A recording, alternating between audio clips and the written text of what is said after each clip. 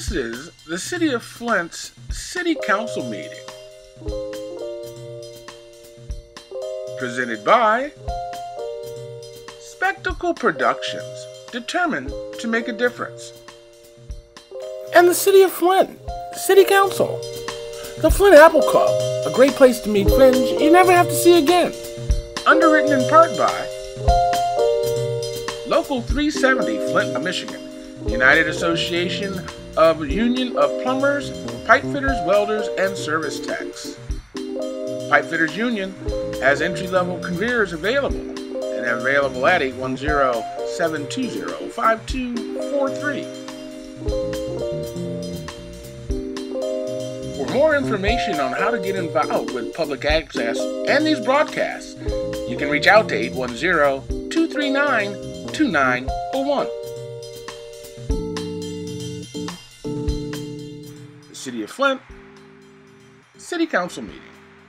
Up next.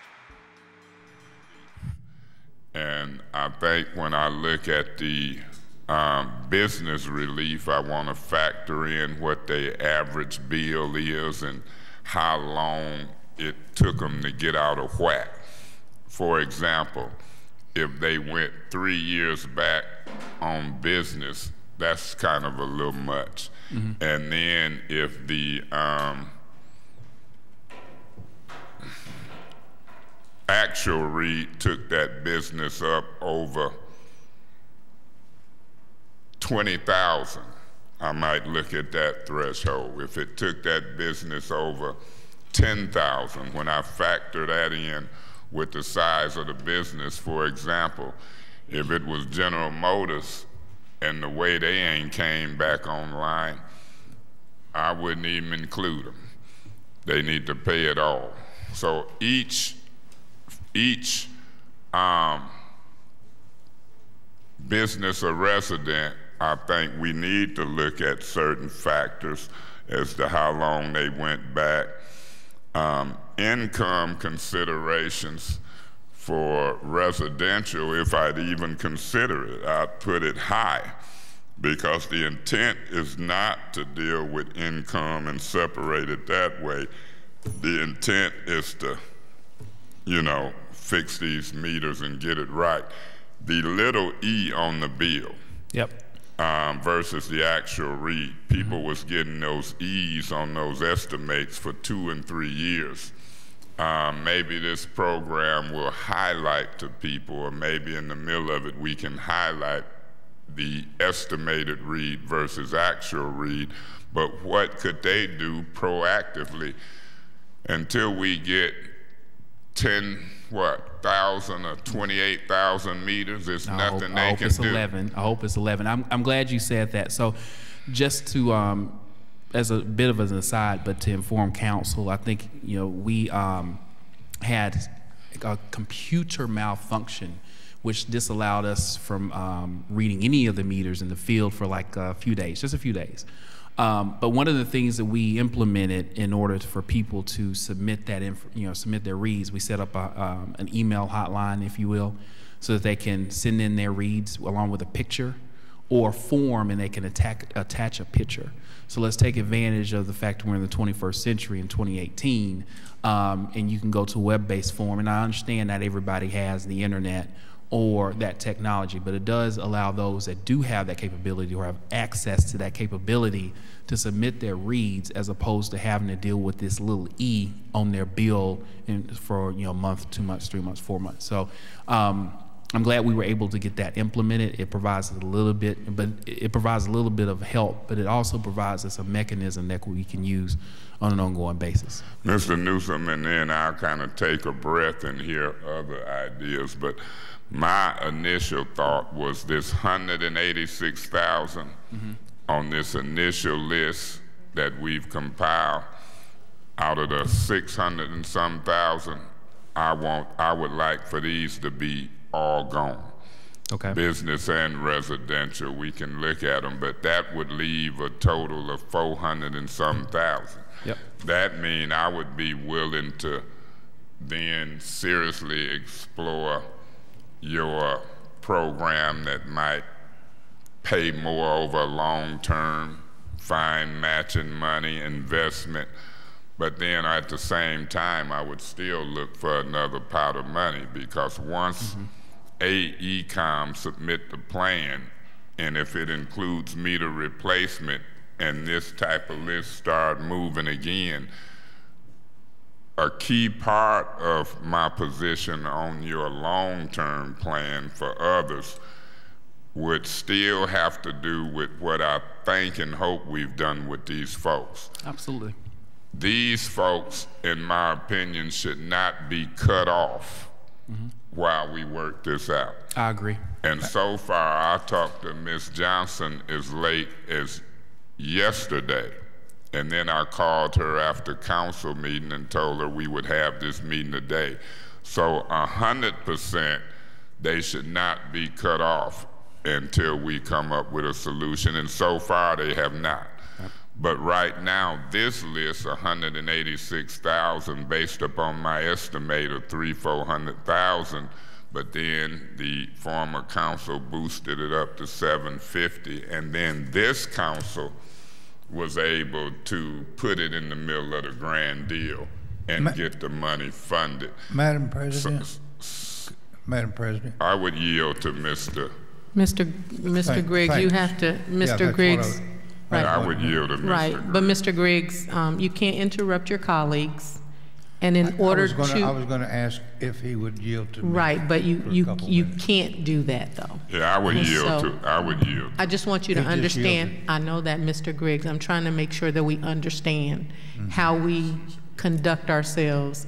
And so he has yielded, but it's not appropriate for you to interrupt him to ask him if he'll yield. So now right. you have the floor, Mr. Griggs. All right.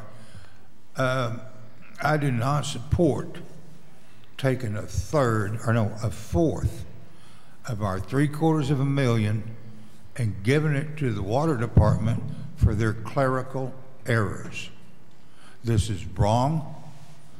The water department should eat this 186,000 and that will free us up for the total $750,000 that we were given to help reduce people's water rates.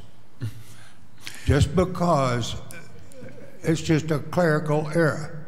The water department made this mistake. The citizens did not make this mistake. They messed up to the tune of 186,000 they should eat that 186,000. We shouldn't be using it out of our three quarters of a million. So I will. Ma Madam Chair. Ma Madam Chair, through you to Mr. Griggs. Mr. Griggs, I think that if you believe that the water department made the error, that might be only true in this sense. It's kind of a little off because the mechanical error of these batteries in those meters having only a 10 year lifespan, they should have been replaced after 10 years. And so whoever was in charge of the city, whether it was mayors, whether it was council people, whether it was engineers, whether it was emergency managers, they didn't put in a plan to start replacing them knowing that they had only a 10 year life. So I don't want to just put it on the water department.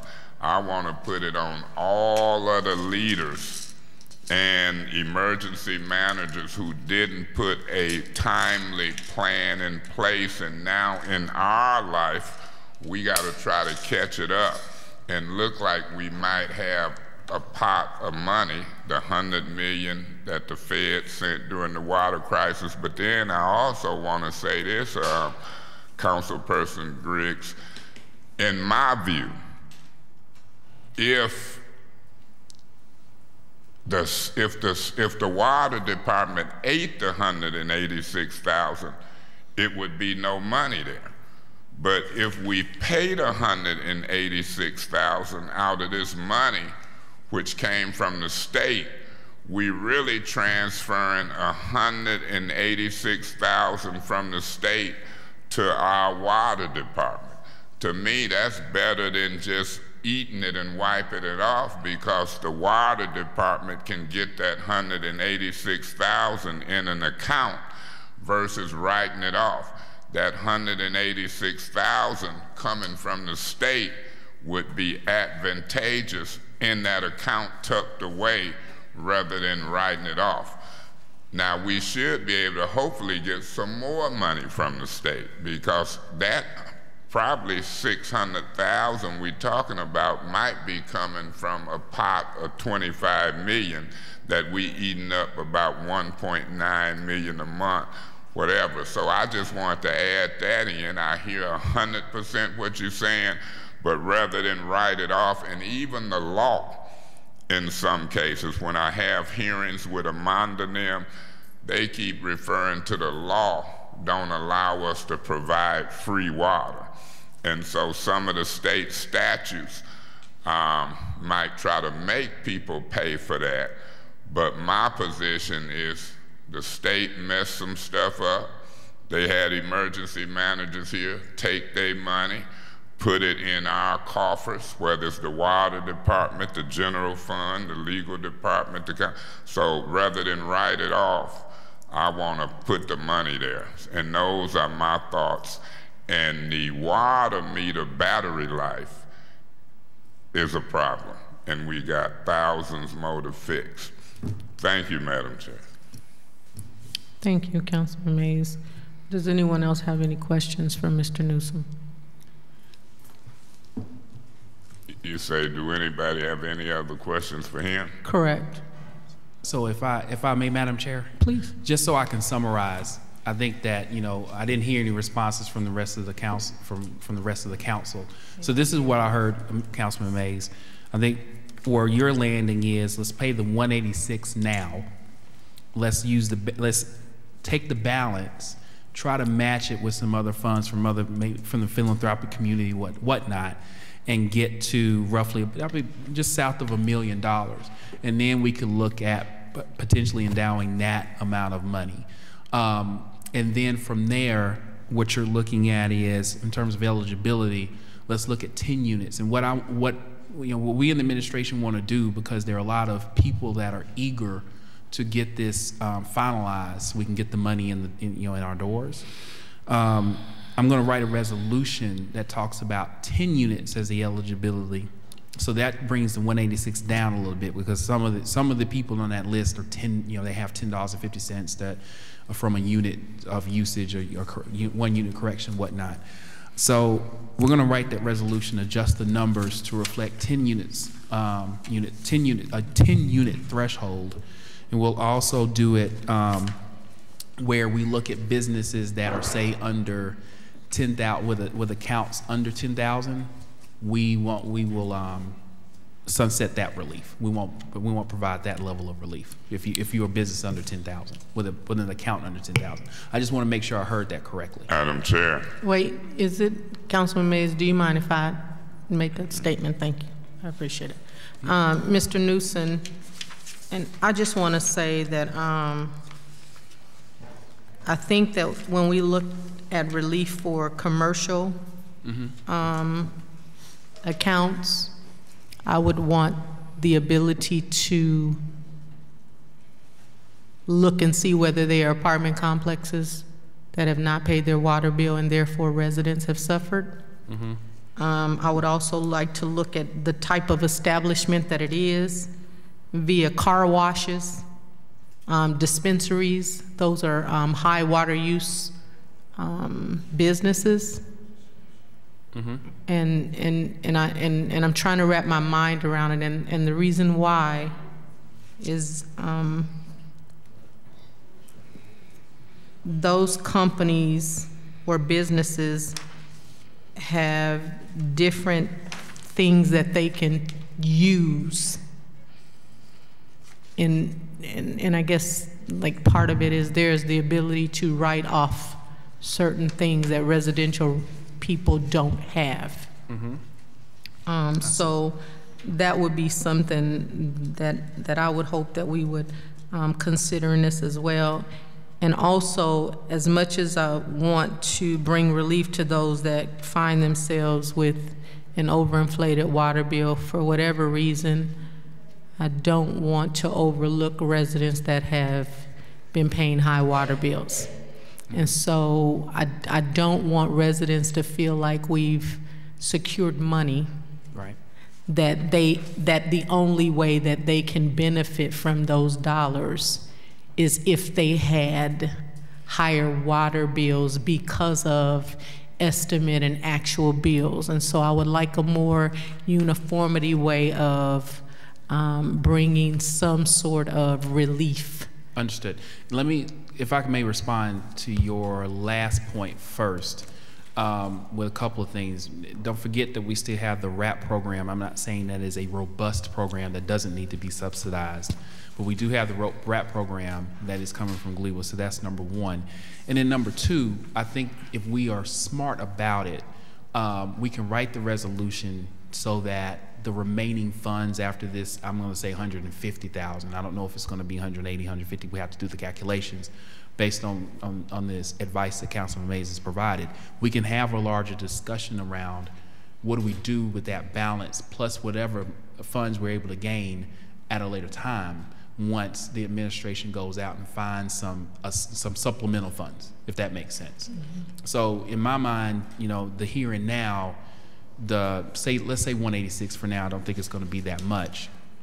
We can focus on the residential stipulations we've talked about here, along with some some more commercial flags around apartment complexes, high-use businesses such as car washes, et cetera.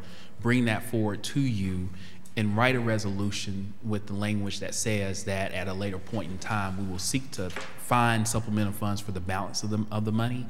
And at a later point in time, we'll talk about the eligibility for that. Does that work for, for council? I, I, I can't say, but um, Huey, will you help me understand your spreadsheet that you provided? Because I'm doing my best. I want to just, for simplicity um, purposes, um, take the very first figure Yep. on the first page. So after all the blanks, it says current adjustment amount Yes. and then adjustment amount filtered, and I'm assuming that this filter amount is the running total that gives us our grand total on the end, is that correct? That is correct. So let me, so what we did, mm-hmm. if you see the adjusted usage column, you are looking at this, right? Mm-hmm. The spreadsheet? Yes. The mm-hmm. adjusted usage column is the adjustment in the usage that, it's basically the, the correction in the water meter read. So the first one, so that I can see if my colleagues are on the same, I don't know if they need it, but just for clarity's sake, we're looking at number 359, date posted 817, meter read 605, adjusted usage 261, Huey, on the mm-hmm. first page. I just want to make sure, if, just a second, Councilwoman, I want to look. At. Okay, okay. Thank you. And Ms. Galloway. Yeah, Councilman Mays? no, I'm good. Oh, okay. I'm, I'm keeping up. Okay, I'm, I'm with you. I'm sorry. Yes, I see that one. So if I go across there on the way to read this on August 17, 2017, I actually read the meter. I got an actual read of 605 units. Mm-hmm. I had to adjust what was in the record by 261 units. Mm. The balance on that account is $2,851 and the adjusted amount is 2740 and 50 cents. So Now, in 27 essence- Yeah, so 2740 time and, and a half is 261 times $10.50. Right. Mm-hmm. So in essence, their current balance was what it, what the estimates had been accumulating. And so if we got the actual read, would we technically have added 2851 2740? Actually, no, the 2740 is included. So basically, In they that were running- They were running about a $100 balance. Okay. And then we came and corrected it, and they saw this big, huge 605. Okay. usage- two- I'm sorry, 261 unit Okay. increase. So that caused their bill to go from roughly at 100 all the way up to um, 2740. And is there the ability to say how long that account have been on the estimate? Like, is it like Um, three years? Harder to Is it? Okay. because we have to. We we can do this based on one report. Okay. It's a little harder because we have to go back and build a more dynamic. Um, I got you. Uh, uh, data data sheet. Okay, and I was only asking because Mm-hmm. it seems like if we're going to create some consistency, it might be helpful Yep. To have a cutoff time. Yeah. You know what I mean? Mm-hmm. Because, you know, the Mrs. Johnsons Right. are, are, are- hopefully, that's not the happen. standard, Right. right? Um, but just making sure that maybe in the, Yeah, and my, my, So, my hope is going back to what Councilman Mays' point before. My hope is is that with the six month um, ordinance that, that Yeah. Mm-hmm. was passed by council, we're going to see that limited um, going forward. That's that's the expectation. okay, thank you. Ma- Yeah, Madam Chair, when you look at this list, it looked like it starts with the high ones, that 2,700, and it's showing a gradual escalation down. I did that on purpose. You purpose. did that I on sorted- purpose to the last page where Right. they are somewhere around ten dollars one unit, twenty-one dollars two units. And so if we had to look at this, Yep. mhm. and I know how you might look at stuff, I can't speak for you. If I went and said I wanted to not pay the pages that was like I see seventy-three dollars, fifty-two dollars. Right. Um, them the adjusted amounts. Then I see ninety-four dollars, hundred and five dollars. Right. It's not for me to say that somebody can pay ninety-four dollars, but it might be for me to say whether or not we deal with the twenty-one and thirty-one dollars. So Yep. I would look at that and I would say to you, when you come to me with these has been paid, mm-hmm. I might can stop at the forty-two dollar shut-off level mm-hmm. and listen to residents, but you know, I ain't no way when it start getting up to the hundred and twenty-seven hundred. Well- will I? So that might do something, but I'm just throwing stuff out there because remember my initial position is wipe these out, and that included the ten dollar ones as well. Right. But those aren't bad adjustments. That one unit, two units, and Right. that type mm-hmm. of thing. So if we set the unit adjustment somewhere around 10 units Right. or more, something like that, I can see that logic because in dollars and cents, yeah. as long as they can do the appeal, because when they have a problem and they appeal it, then we look at them on an individual basis. I know mm-hmm. Ms. Johnson and others, I sit in on the appeal. And so we must continue to highlight the appeal process. And I would say, as we set up whatever creative matching funds or financing we do with the remainder of the money, if that's how it turns out, I still want to see if we can operate with a policy of holding them shutoffs in abeyance until we see if we pay 20%, 50%, 80%, or 100% in the future. Yeah. Mhm. I just want to get this off of these people's worries and back. Um, make sure that they ain't cut off for something that really they was out of their control and out of our control.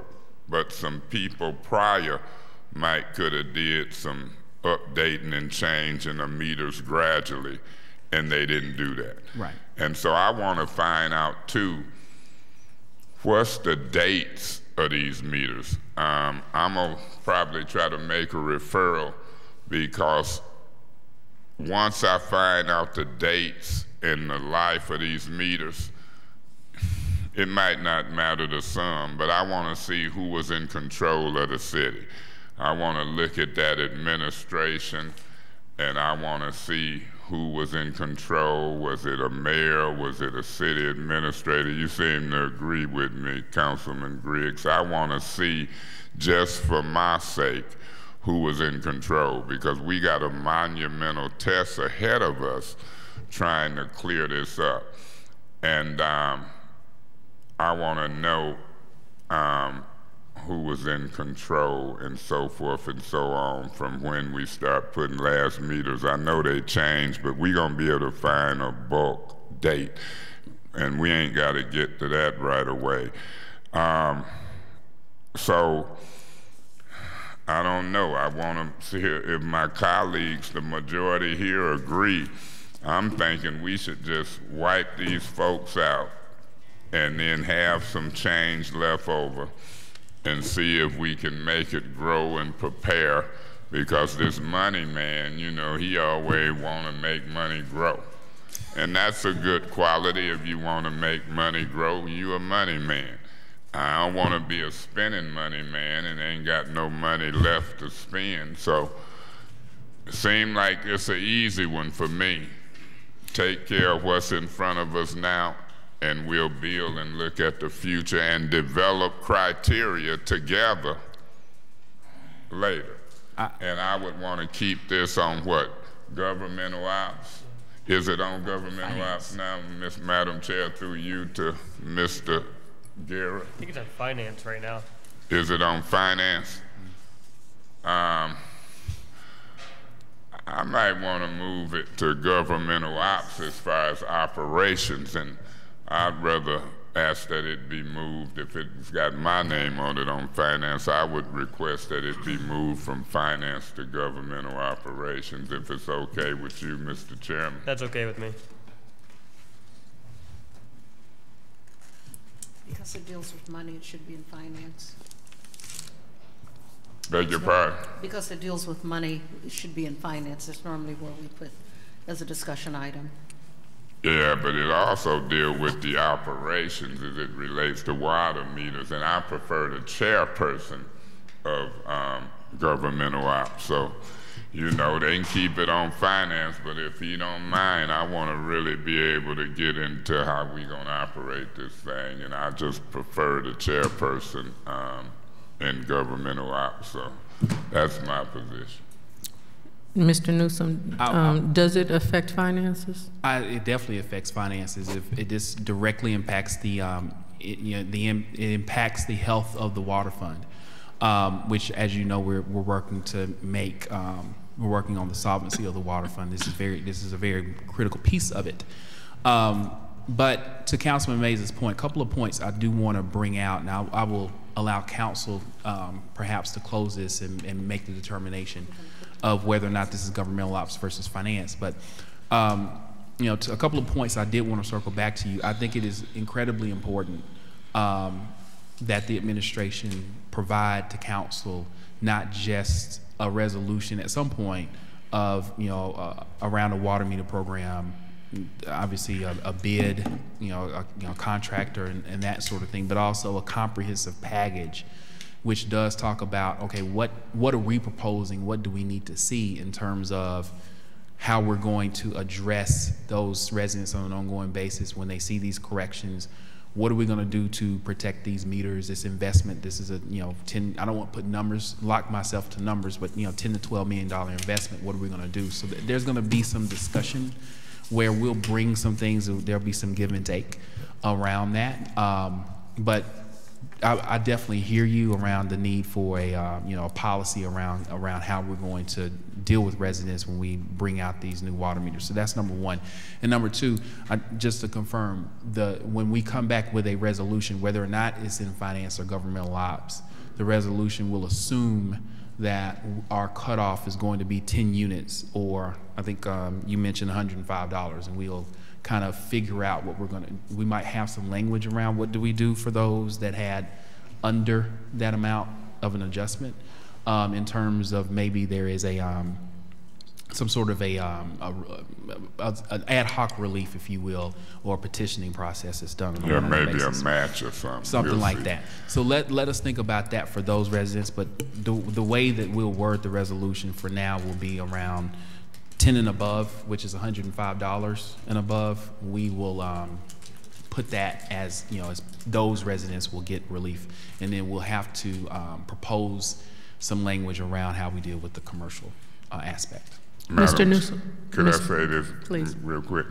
Um, the finance is one thing, financial resolutions, the fund, but the operations of how we operate and how we gonna do meters and how we operate, even the ordinance that I introduced to only go back six months legislative. So sometimes some of this stuff overlap. And I'm not really just talking about the funding of this.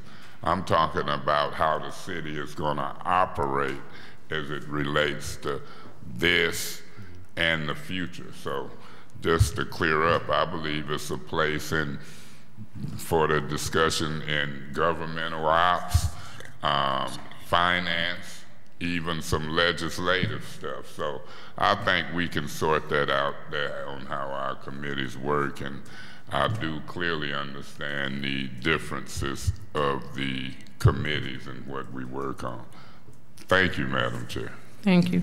Um, Mr. Newsome, in, um, in an effort for transparency, do we need to get community um, feedback to do what we're trying to do? I, you know, I, this is when Miss Jamaica Patrick Singleton, I will refer to her. I know that she has been, um, you know, been involved with the with the creation of this or the, um, the let's say the inception of this proposal. Um, so I do want to have her provide some feedback, if I may, Council uh. Chairwoman. Um, bring her to the podium. Thank, you. Thank you. Does she need to stay there? Does she need to stay?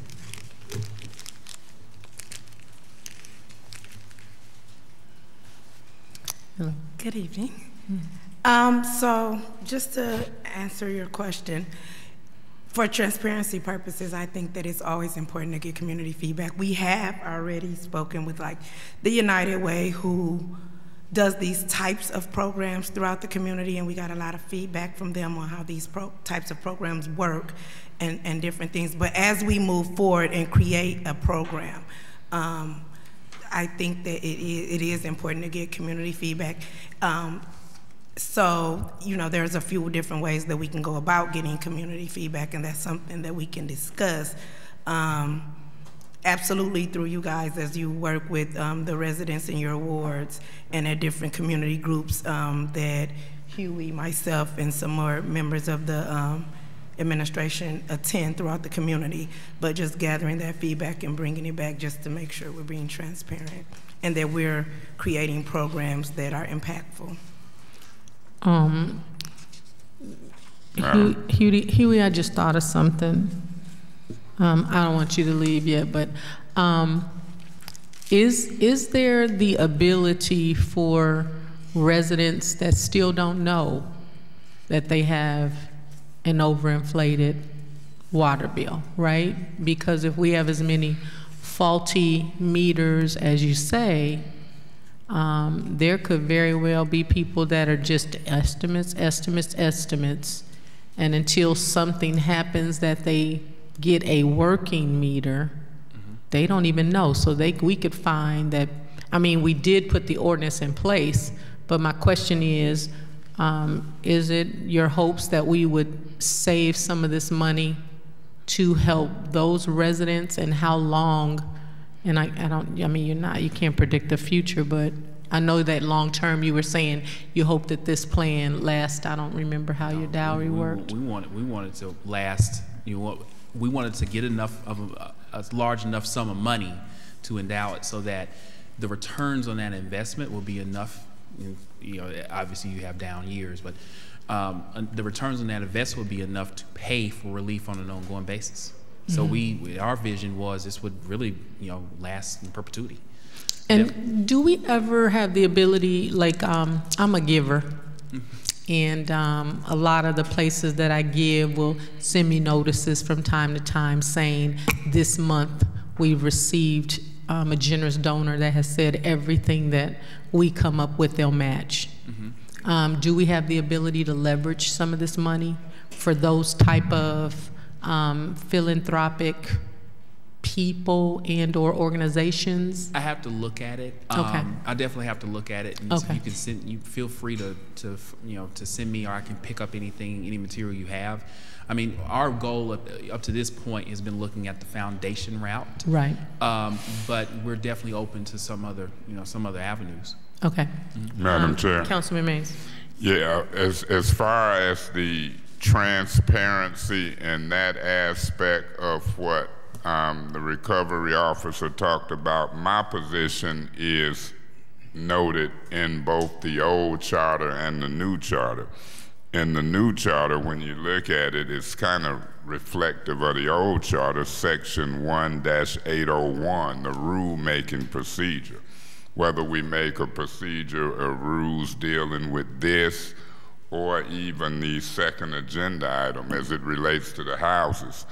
Under the charter, it requires a procedure for the adoption of rules.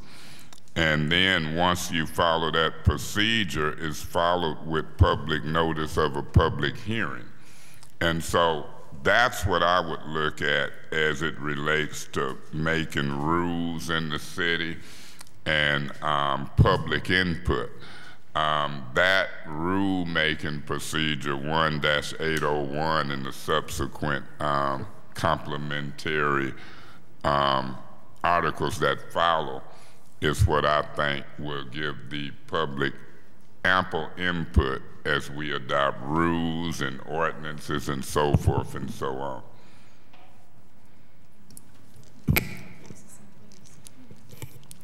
Um, I'm gonna, we're gonna hear from our attorney, Ms. Wheeler.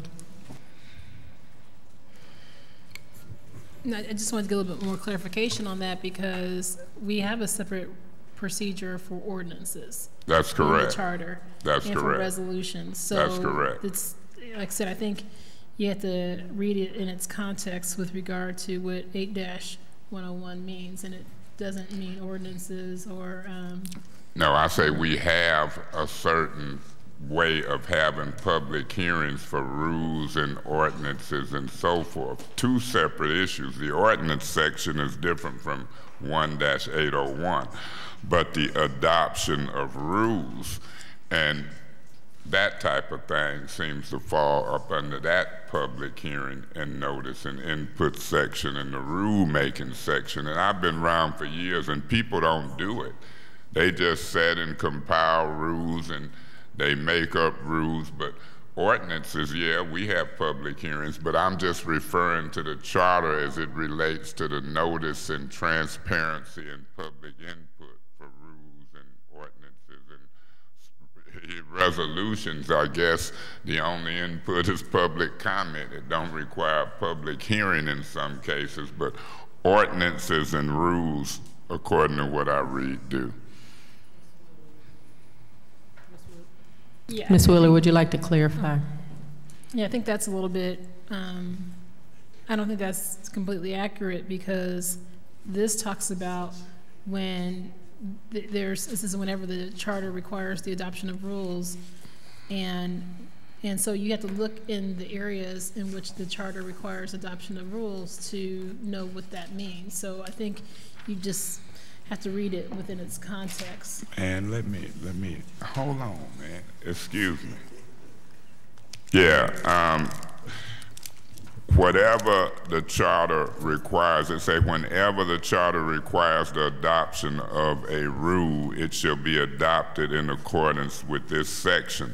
The person having rule-making authority or an agent shall give public notice of a hearing. And so, in my position, if I was to go back and read other sections of the charter, if I was to read preamble, declaration of rights, my responsibility to the people and rules that affect the people, um, the, the charter is requiring me from my interpretation when I read it as a whole to adopt rules in an open and transparent way. And so I'm not going to sit here right now but if need be, if this meeting continue, then I'll go in the preamble, I'll go in the Declaration of Rights, and then I'll show you where, in my opinion, I'm required to be open and transparent in rulemaking. I was just pointing out the ability to do input on not only these rules, but the rules as it relates to, in my opinion, the houses. I would rather be safe than sorry.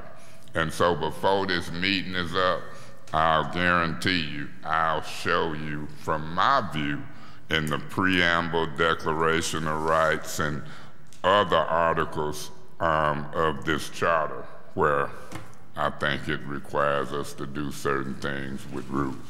So, Councilman Mays, just for my clarification, um, you, I think you mentioned houses just now.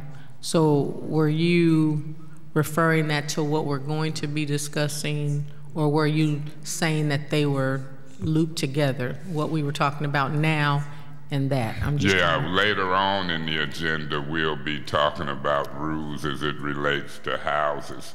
And we have a rule-making committee as it relates to our council rules. All of these adoptions of rules, in my opinion, will require following 1-801 of the charter. And just for my own clarification, since you asked that question, um, are we holding meetings on rules? Because, I hear you talking about them, I don't, I'm, I'm specifically making my question to Councilman Davis. I believe you are the chairperson of that? And I'm, so I'm wondering, uh, is that uh, underway? And if so, um, if you could just make, make me aware of when you're holding those meetings and how you're doing it, just Well, in, in an ability to be part of that. Since we're, because since we're tying this all together, I want to understand it. Well, Madam Chair, at this time, we, we're in this, uh, part of getting ready to start holding conversation on the rules Okay. per, uh, uh, President, Winfrey. Winfrey. Okay. When you get out the hospital, we'll Perfect. continue the conversation. Okay, thank you. Okay, so um, does anybody have anything else for um, Mr. Newsome and our Chief Recovery Officer? Is that right? Yes, perfect.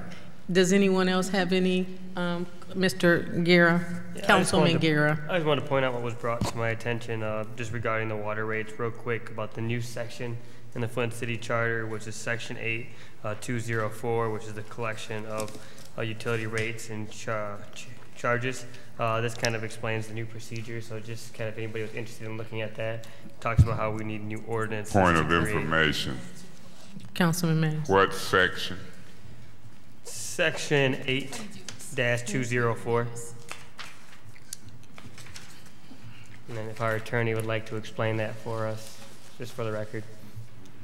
Actually, I- actually, we already do this too, as far as collection rates for municipality and, and um, the rates. That's, that's done annually, I, I believe. Um, and matter of fact, I think that's in the previous charter, um, as well. But that, yeah, that section says the council shall provide by ordinance for the collection of rates and shall, in, in charges of public utilities services furnished by the city, council shall pass an ordinance to create a dispute resolution process to address unpaid water bills left by tenants or water liens from previous owners. And we already have a process in place in 46-17, I think it is. So, I mean, these are just some of the kind of the, um, some things we have to work through because we already have a section that already covers this in the ordinances. But like I said, the council as a legislative body, if they want to change that, they can do that, but that goes back to there being an ordinance process. Um, and, and that's something that can be done through the legislative body. I have a question, Councilman Guerra, you brought that up. Was there something that you saw in that that, that is not being uh, explained properly? Because I No, I think just I'm brought it- confused. Brought it up for the record because we were talking about rates changes, and that was just one of the part of the new city charter. So just bring it up in case anybody was interested in looking at it that was up here while we were discussing this topic with Hughey, just so Angela could state it so we know uh, what it's for and that we already have those procedures as she was explaining.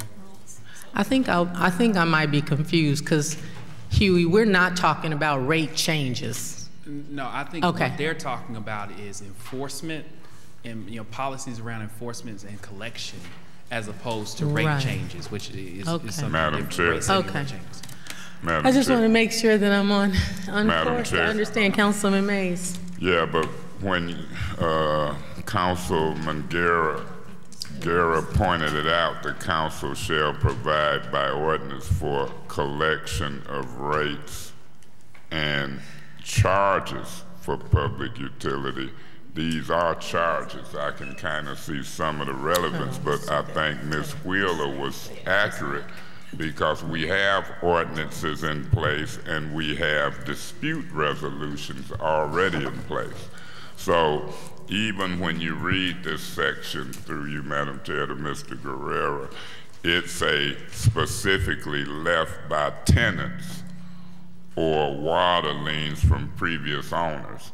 So they was getting at something. They not covering, in my opinion, current homeowners, and they um, they dealing with tenants or and they dealing with or water liens from previous owners. So whatever they was getting at was a narrow scope, but it doesn't deal with the majority of the people I represent, which is homeowners and others. So whatever their scope is, that's why this charter is in effect.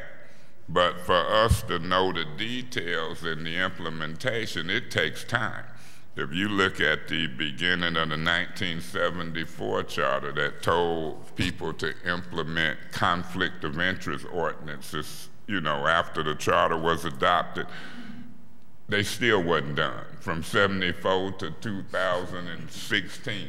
So all of the charter people that's beating the bushes, I'm cautioning council, take your time, create ordinances that deals with ethics and what it means, qualifications and what we're looking for, take your time. And even in this one, on the surface, it do fit, but at the end, it narrows the scope. And so um, I love it when we have these kind of working sessions. And so uh, I'm quiet.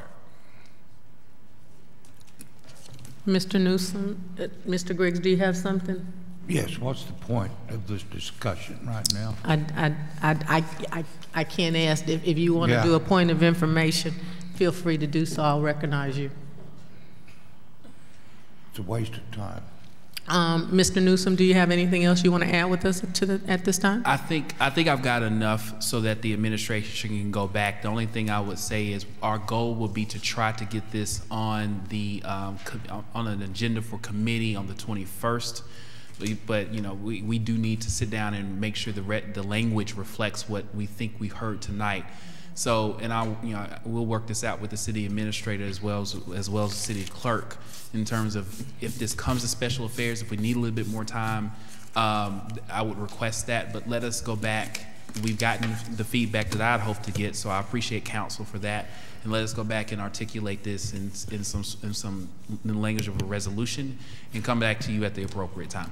Thank you. Mr. Madam- Newsome, Mr. Newsome, I just, um, as, it, it, it's not relating to this, but it, it is only because you made mention, and I want to see if what you made mention to is, um, relates to the calls that I've gotten from residents there, and I've talked to, um, Mr. Rob Bincsik Yep. um, and Steve Branch, but I haven't received a response Okay. that I can share with residents. So I'm getting this overwhelming number of calls from um, residents that have received a notice asking to read their meters Right. and call them in, and they were angry about it.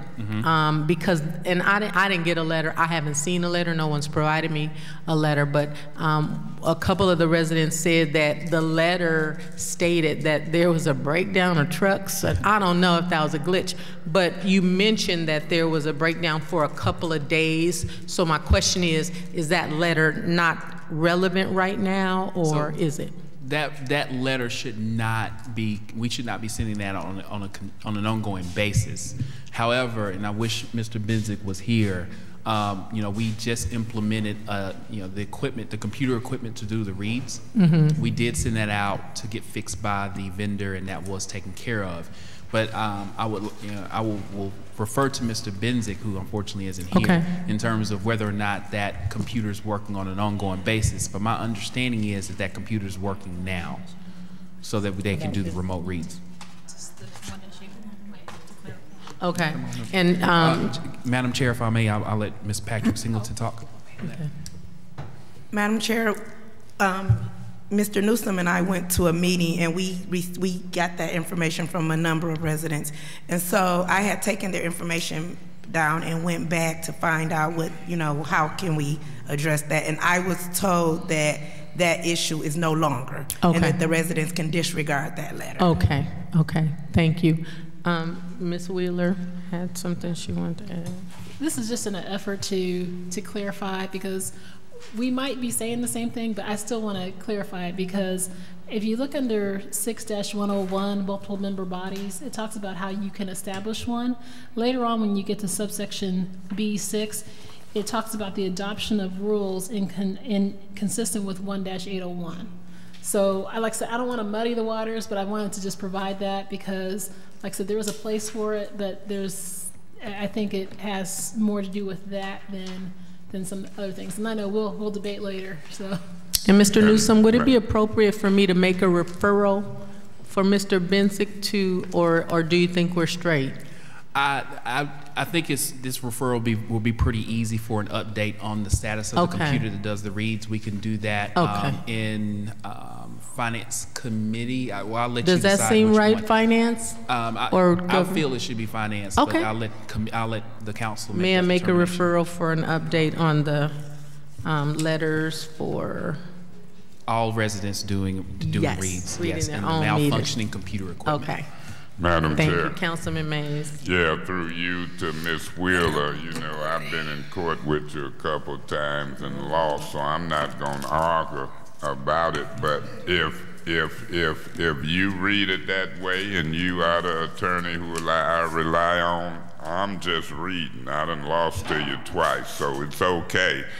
But I still wanna then come back and say, if it's possible to do it, you know, but I don't want to do rulemaking all across the board under 1-801. So I know you persistent and I heard you loud and clear and we'll take it from there. But Mr. Murphy, who was a charter commission member in reference to Mr. Guerrero's point that we look at the charter in um, 8-202 subsection B, and I see Miss Wheeler moving, because if I speak wrong, Mr. Newsome, and she gonna move like a cat. I'm used to it, and this is how she do it. Um, Mr. Mays, and, and, and so, and it'll be a certain tone. And so I'm now looking at 8 202, 203, yeah, 203 rates um, subsection B, within two years of the enactment of this charter, the city council shall pass an ordinance creating a payment assistance program for residential water and sewer customers in need. I think that's gonna naturally happen within two years because of the money coming in from the RAP program. And so we'll probably create that by ordinance and we'll be well within that two years. So I'm trying to do you better than what Miss Wheeler do me. I'm saying to Mr. Guerrero's point, but to Miss Wheeler's point, I can, I, I love the interpretation of 1.801. I looked at the preamble, like I said, before the meeting is up, and all I can do is look at the um, part that say the benefits of local self-government and to provide for an honest, transparent, and accountable government. And so for an honest, transparent, and accountable government, I don't mind 1-801, but we do have to compile rules and policies and give them and publish them for publication, which we already got. Ms. Brown, you can probably find rules and stuff published and in file. So um, I'm satisfied, Madam Chair, with this section of the meeting. I'll wait to see when the administration move. But the quarter, the three quarters of a million dollar question for me, and I'm gonna frame it that way. The three quarters of a million dollar question for Councilman Mays and I guess my colleagues too. Have that money hit our coffers? If not, when? And do we have to have these policies and rules in place before it hit? Have the state sent that 600 and some thousand? And if not, when can we expect it? So the answer, if, Madam Chair, if I may, Please. if I, the, the answer to your question is this: they are waiting on us to understand exactly how we're going to distribute the money. And so we need to, that's one of the reasons why it's so pertinent for us to sit down and get this hammered out as opposed to dragging this out over a series of months. Because they're asking for us for some sort of resolution or something binding that says how we're going to distribute the funds. They will um, uh, give it to us in the form of a DEQ grant. But before that, and they are, you know, waiting for us to provide some feedback in terms of how we're going to structure it. So, if I may, this water relief fund is coming in the form of a DEQ grant. I always thought it was coming out of the $25 million state fund. So, regardless of where it come from, that's going to change my attitude as well on making these rules. And so I would ask that um, the first part of the resolution come to us in the next committee meeting, and then we uh, may be poised if we agree to pass it at the next council meeting. And if in fact um, it suffices that um, your matching fund and all that type stuff, whatever the rest of the plan is, be together. I don't know if they will allow us to amend it later, but I think we got a rough diagram and draft of what we want to do with that money. Right. We want to give some relief to these folks who had these estimated bills. And we put an ordinance in place to make it hopefully not go out of whack anymore. So I'm eager to get those monies released. So I'm going to ask that all of this be to us by the next committee meeting and we ready to pass a overall program including the 186 or whatever that money will be mm-hmm. by next council meeting. If you don't make it, I ain't gonna lose sleep as long as folks getting cut or ain't getting cut off who fits this category. Take your time. I'm just saying I'm ready for the state in whatever form to release that money and I want these people to know that they finna get some relief. So if the headlines are saying relief is on the way right around the corner, amen. Thank you. Ma- Madam President, Councilman Griggs? one eight oh one doesn't have anything to do with the topic of this meeting. Now, why are we wasting time talking about Charter 1-801. Madam Chair, Um, It has nothing to do with this meeting. Madam Chair. wait a minute, Mr. uh, Councilman Mays. Um, Councilman What's- Griggs. what's to do with it? Well, he was sharing how you could see how there is a scope of Need to it. share. Right, I'm just, Councilman Mays. Madam Chair, through you to Councilman Griggs. This is, Madam Chair, through you to Councilman Griggs. Councilman Griggs, we are creating some rules in order to, but that should be in the rules committee. point of and that's information. okay. Point of information. Um, Is it appropriate for me to remind this council that we still have public speaking? Yeah. And we do want to respect their time because we still have other Yeah, and items I think on we the got this, agenda. I think we got this wrapped up, but through you, Madam Chair, to Councilman Mills. Councilman Griggs, we was just looking at if the rules are gonna be made and transparent to the public, did we have a procedure where the public can come up and talk before we adopt any rules or procedure? So in that point, I thought it might be relevant because as the public listen to us, even though they can put a slip in and talk.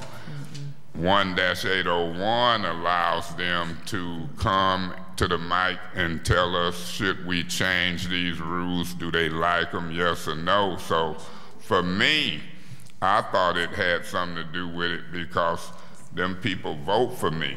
And I want to hear after we talk about it what they think. So maybe some would say it did, some would say it didn't, but it ain't a big deal with me. But I'm going to always try to see if I can let the public, you know, say something.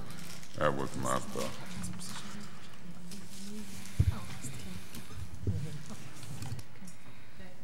Thank you. So is everybody good? So would we say that we're safe to move on? Is that appropriate?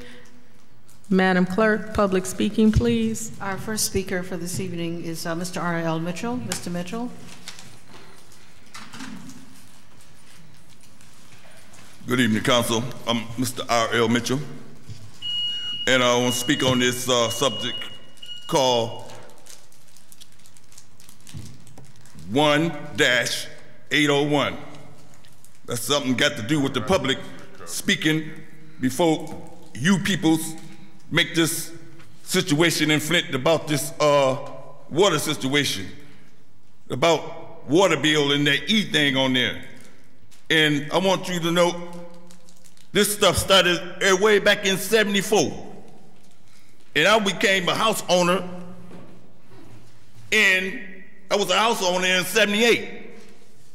And I had and I was intending to be a house owner forever until the people's in Flint, till the mayor walked out his own job, Mayor McCree, because he didn't want to be the first one to throw the blow at the other generation that this guy here talking about what they got to do with it. This, this white beard dude over here talking about what to do with that, well, about the public. And and like like we peoples in Flint, they can't even speak up. I got the biggest job in Flint, working at General Motors Truck Assembly, and my house was on Laredo 501. And I was paying the water bill, everything, and I didn't even pay early. And even get a check back from, from overpaying. But I figured, well, one day they said, sir, you got to go pay your property tax. That's the only thing I didn't pay. So I went down to pay my property tax. They said, sir, you five minutes late, so you not, we taking your house and everything from you. I said, no, you ain't. I, I refuse. I'm the only, I'd rather become homeless. I've been homeless for 30 years now. And I still been living. Right over there on Laredo, from Laredo, Austin, all the way on Russell, all through that neighborhood. And Sherman, started from Sherman.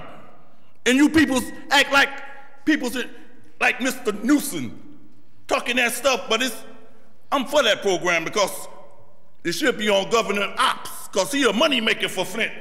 I want all that money back what you took from me. And Mr. Where you go? The dude took off again. But anyway, but anyway, that man back there was talking about delinquents own the property, talking about a second chance. If anybody get a second chance, I'm gonna get there he is. You can't even mention his name now. The spaghetti dude talking about an offer you can't refuse. So his name start with like was spaghetti. The mafia. This guy right here. Mo, I can't have. Anyway. And Madam President, just give me my money from, cause I'm a, I'm an American dream out. I got a house with a picket fence around it before I got that started. I got a family and stuff. They still around here in this city somewhere. It just costs no, I'm all naive, like, like I ain't saying nothing about it, like, like they ain't still living in, in this Black History Week two month. And Mary McCree, you, what, you think my mayor gonna walk out like Mary McCree? No. Y'all of the two. Y'all want the, the mayor downstairs to walk out. She ain't walk out, and I want, I want all my money back. Thank you. You got that? Thank you. Madam Clerk, next speaker. Our next speaker is Mr. Arthur Woodson. Mr. Woodson. and uh, I hate Mr. Newsome left. Uh, one of the questions is, the meters was defected during Dayne Walling. Greg Easton made a serious uproar about those meters being defected, and they knew that they was defected. In your committee meeting, when David Sabuda was here, David Sabuda said that we didn't have enough people to go out and fix the meters. That is on the city. The city was mailing out fraudulent, uh, fraudulent bills because they knew that later on down the line, when those meters are changed, the people was going to have to pay. Now, when this happened, the per cubic feet was $7.92. And if I'm not mistaken, he said that they was going to charge $10.50 per con, which is per cubic feet. Is that every year? Because if it was estimated in 2017 and if the per cubic feet was $7.92 per cubic feet, then that's what they should be charged, not $10.50 per cubic feet. Then the meters was defective. Uh, uh, now the sewer portion, you know, they charge you by the sewer portion on how much water you use. Will the sewer portion be added in on that? And then we need to find the $552,000 that they supposedly gave us back from the water fund, plus the $67,500 that Waymeyer that y'all voted against the contract. Where is that money? Then at the same time, how would uh, they go get the money back? We, the public, need to be able to see what y'all are reading also. We're not able to follow along with what y'all are reading. Uh, I seen that President Trump uh, is not going to trying to take the money out for the Great Lakes. We have the Enbridge line five that's right there in front of our uh, pipeline, our intake. So if Lake Huron goes down, where do we get our water from? Because our primary and our backup is right there at Lake Huron. So if our water go down, where are we going to get our water from? And then uh, we need to fix our plant up. Now, going off of that, uh, the HUD sheet that I gave y'all last night, that wasn't written up by me.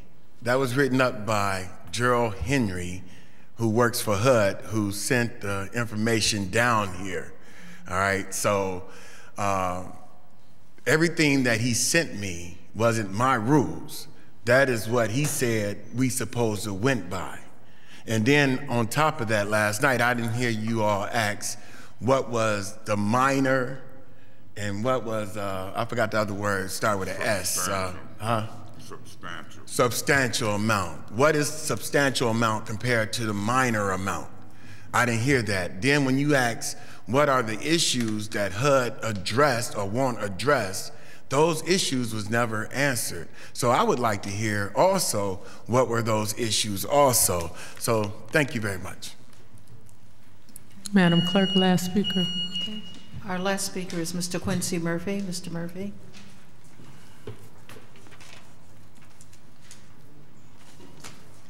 Good evening, Quincy Murphy. Again, um, clear some up, verify. Um, yesterday with the charter, um, we, the charter commissioners put the charter in place on an August ballot because one of the things we said, if, if the residents um, um, voted down the charter, we had a second chance at um, getting approved in the November ballot. So when we put the charter on the ballot in August, it wasn't to rush the charter. We had worked on the charter two and a half years.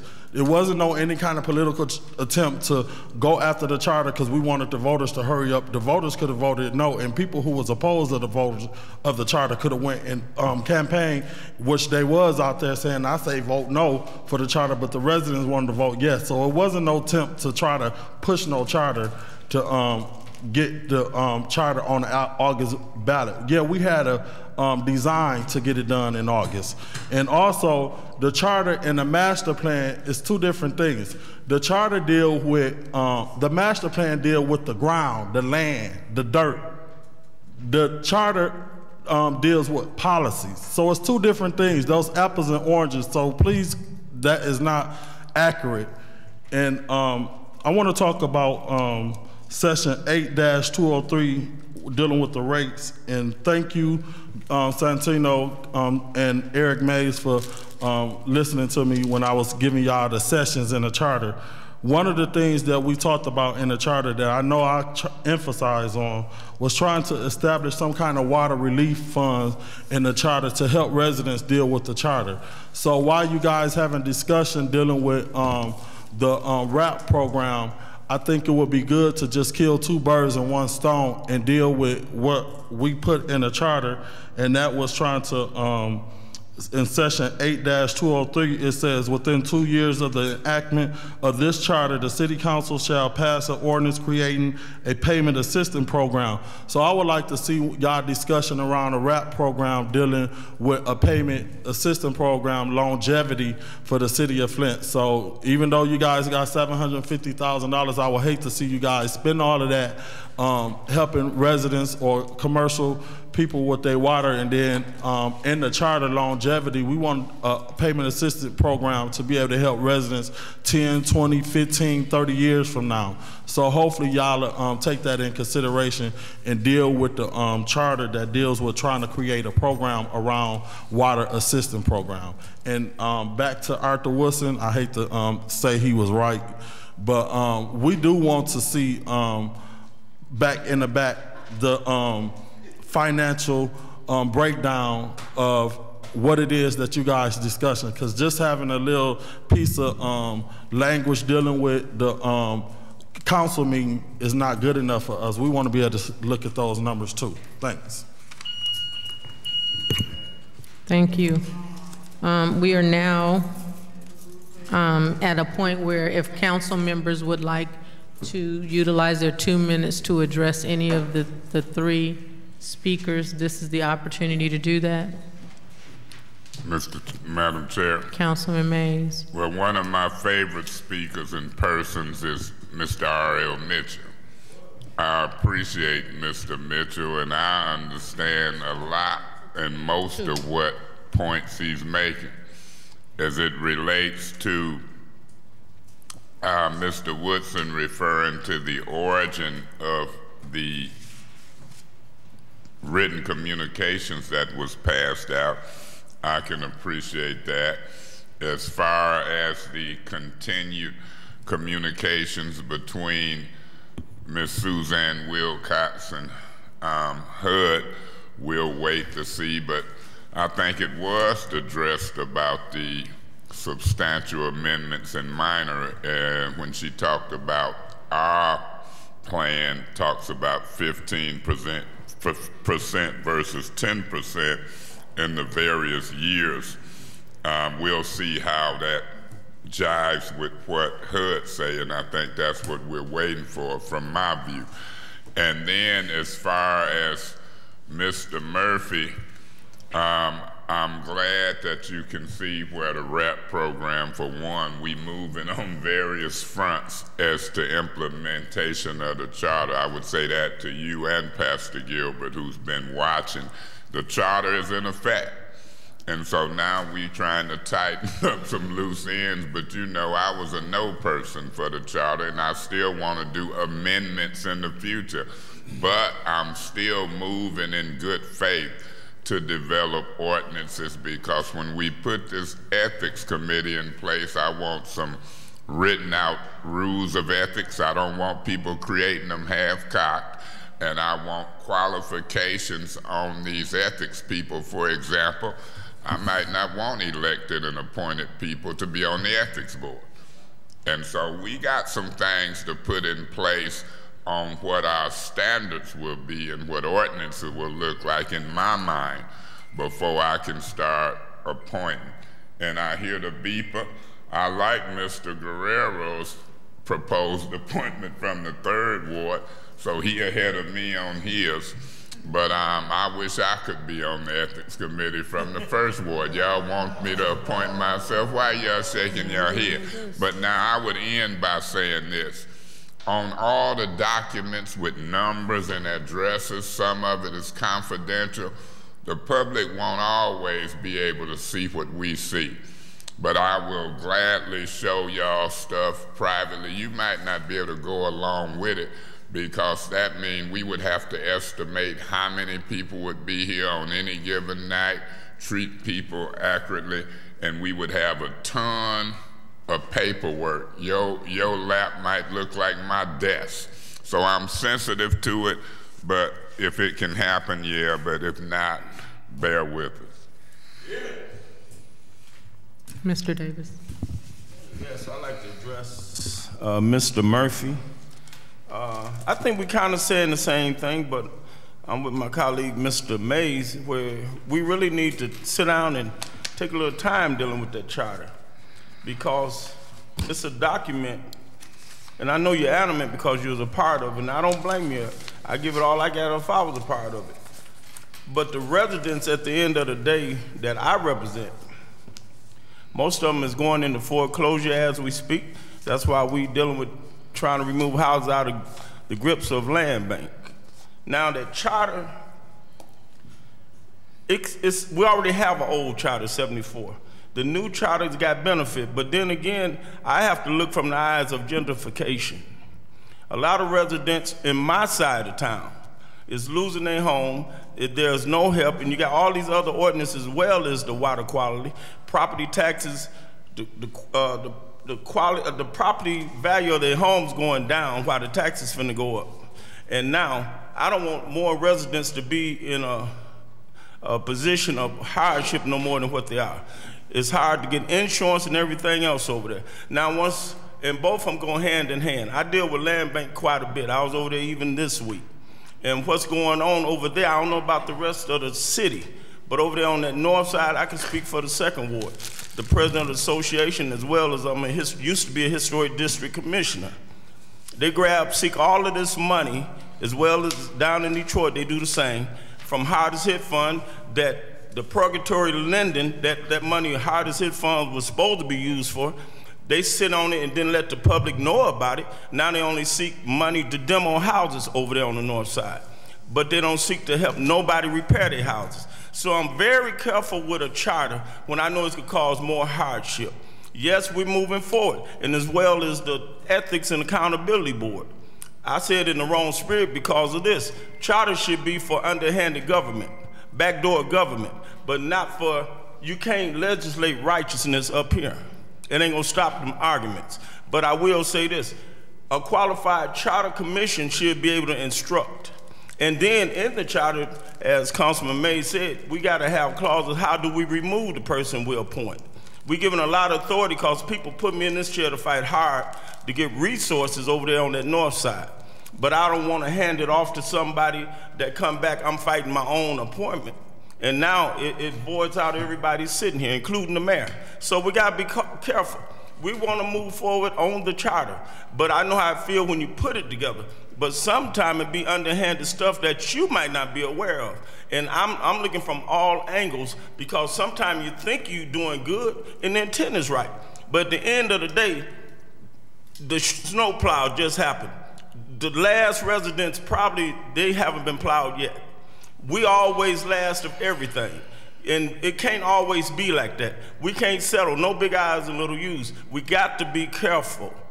We, we need to implement the charter, but it's a push for a reason. Gentrification is real. Keep living, you're gonna see what I'm saying. Detroit is already going through it. Flint is on its way, and I can say what I know, not what I heard. I'm having conversation now with developers. Guess where? In an impoverished community, in an impoverished side of town. My colleagues know nothing of it. I have the conversations. You will see shortly. I'm, I'm, I'm animate about what I'm saying. We got to be careful when we sign off on deals we are not thoroughly convinced of. Yeah. Councilman Guerra. Yeah, just briefly, I wanted to start off with Mr. R.L. Mitchell did bring up that this month is Black History Month, so I think it's important that we do recognize that uh, here today. Uh, also, Mr. Woodson, I think you brought up some good points and continue doing your research. I know you like to be involved. And uh, Mr. Murphy, uh, as you know, I was one of the supporters of the charter, but I do understand that it's a big document and uh, that we got to make sure that we make sure everything's done right uh, so we don't have to come back and make any fixes or changes. But we can always do that too to make sure that we always accomplish everything the best as we can. Uh, so just know I'm working on that. I know a lot of our colleagues are working on that, and I hope to see it get implemented in the future. But as we've stated, it may take time to make sure it's all done correctly. Ms. Winfrey Carter. Um, Mr. Murphy, in reference to the charter, please be advised that I am um, diligently reading over the charter and I am working hard to find someone for the ethics committee. That's all I need to say. Thank you, Mr. Griggs. Okay, uh, the real gentrification is gonna come when the Gleeville water rates increase in about three or four years. That will be the real gentrification. If you want cheaper water, you'll use the Flint River. The river did not poison this town, the employees poisoned this town.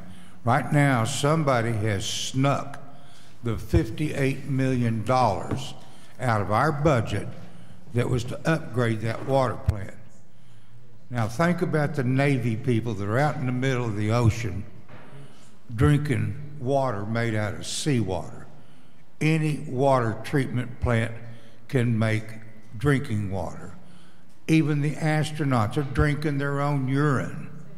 They can make drinking water up in space. It's the employees that were at the Flint water treatment plant that poisoned this town. It was not the river.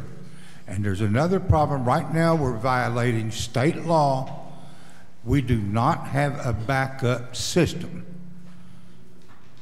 The state law, Michigan state law says every city must have a backup system. That means your water has to come from two different sources.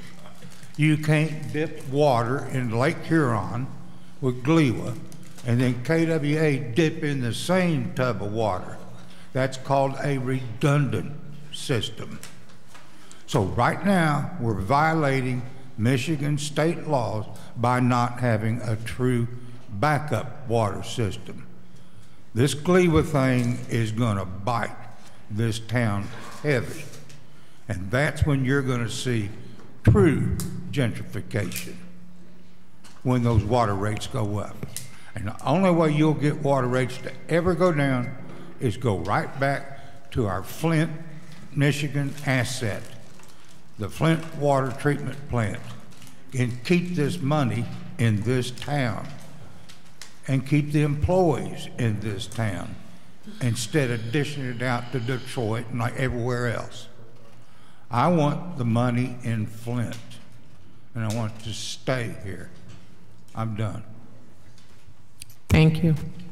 Um, For those that are interested, the the GLEWA board meeting is scheduled for February 28th at 2 PM at 735 Randolph Street.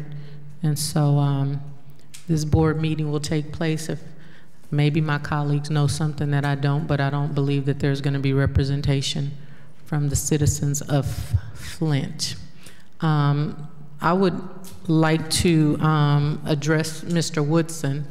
Um, if Mr. Woodson wants to put his request in writing for the 552,000 and something else that he did and, and drop it off to um, the city council office to one of the secretaries, um, I am willing to make the referral. I, for what, whatever reason, I think that it was said that it was answered, but I'd be more than glad to make sure that, that if you didn't get that answered, that we do get that answered for you. Um, it, it, was answered. Um, the other thing I want to um, acknowledge is um, I don't know what my colleagues heard, um, but I didn't receive a response to the specific issues that HUD was um, raising. Um, but I have placed a referral on record at the in the special affairs meeting asking for a copy of those emails from the HUD department as well as a response from um, Mrs. Wilcox. Um, I made that as a referral, and if, the, if anyone thinks that I need to fill out a Freedom of Information Act, I'm willing to do whatever. I, I think I did do a referral. Is that okay? Okay. Um, so um, with that being said, um, I do want an Ethics and Accountability Board, Mr. Pastor Gilbert, and um, Charter Revision, because um, this council definitely needs some oversight as much as we. Um, I think there's a difference of opinion on what professionalism is in conduct. And so any help that we can have, it's unfortunate if we have to put together a board. Um, but I, for one, would love to be checked by somebody that has no political agenda and simply wants to move policy, public policy forward and, and take away any stigma of political agendas and/or advancement. And so that's all I have. Um, next thing on the agenda is um, discussion item 180024, referral advertising the seven recently acquired homes. A referral from Councilperson Mays to the Finance, Law, and Planning and Development. He would like to know if the city can advise for $100 each the seven homes that it recently assumed ownership of. Um, is, is anyone from the administration here to speak on this? Yeah, I'm, I'm, I got some questions. But I don't want to ask no questions until after I understand the intent of the request. Because, Ms. Wilcox? Good evening. Good evening. So the specific question is, can the city um, issue um, a bid for $100, to sell the properties for $100 a piece, is that correct? I don't know. Councilman Mays has made it back to his seat. Yeah, I can Maybe speak he on can that. speak to that. Yeah, if I may, I can speak on Please. that. The agenda item says a referral from Councilman Mays, um, I read it into the record. and he would like to know if the city can advertise for hundred dollars each to seven houses. Um, even though that's how it's written, my request was to put um, the discussion of the houses um, on this agenda. And so it's not limited to that, in my opinion, the person who made the request. Um, Ms. Wheeler have, in my opinion, assigned Attorney Millhouse to help develop the rules, ordinances, or whatever we come up with. There's been two meetings. In the first meeting, if I'm not mistaken, it was Ms. Wheeler, the city attorney, Mr. Newsome, Ms. Wilcox, myself, and Mr. Millhouse. In the second meeting, it was Mr. Millhouse, myself, Ms. Wilcox, and Mr. Newsome. We are looking forward to a third meeting, which might also include Councilman Davis. And so we are now developing rules as to how to see if we can dispose of the seven houses openly, legally, and transparently. Um, Ms. Wheeler sent out a letter to the occupants of houses and and and and and and and in so many words she said we'll look at your occupancy um, we'll consider you and we are moving to see how we would do this. And then she put her phone number as a contact. So we've made contact. We've spent about 5000 for liability insurance and so now I wanted to put this on this agenda because council as a whole might have some opinions and ideas. I got a lot of them and I can talk about them, but um, in the last council meeting, I heard a request, I think through you, Madam Chair, to Ms. Wilcox and or Mr. Newsome to see if the land bank was willing to take houses back.